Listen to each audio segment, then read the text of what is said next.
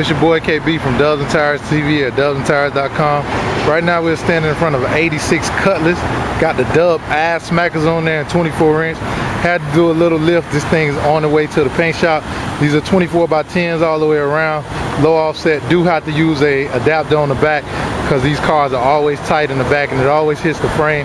Got the 275, 25, 24. Again, we just got coil spacers on there, so no serious lift. You can find these online at dubsandtires.com for some of the best prices you'll find or call us at 877-544-8473. Again, that's the Dub Azzsmackas in 24 inch. This your boy KB from Tires TV signing off.